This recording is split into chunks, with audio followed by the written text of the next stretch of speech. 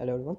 So let us start the mathematics graded assignment question number 8 so in this question what they have asked in a survey among 100 people it was found that 80 percent of these 100 people like to watch tv series friends. Okay.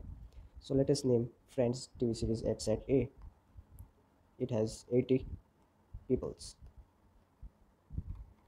And 70 percent of all 100 like got let set of people liking got be set b it consists of 70% of 100 people are means 70 people. What is minimum number of the people who like both the tv series okay. So first we will draw a venn diagram here.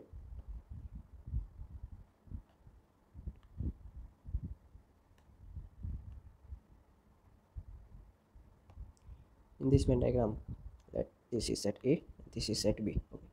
They also mentioned that some people may not like any of the two series okay. Let us take 100 people as 100 let us take total people as 100 people and the people who do not like a and b be x. So just suppose that okay. Then now n of a you know that 80 n of b you know 70 okay. By the set formula n of a union b equal to n of a plus n of b minus n of a intersection b.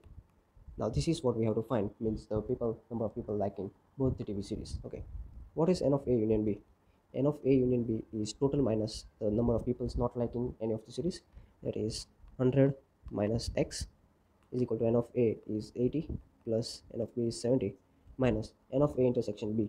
Let us this give variable name capital a. Okay. Now making a as subject of equation. A equal to 150 minus 100 plus x.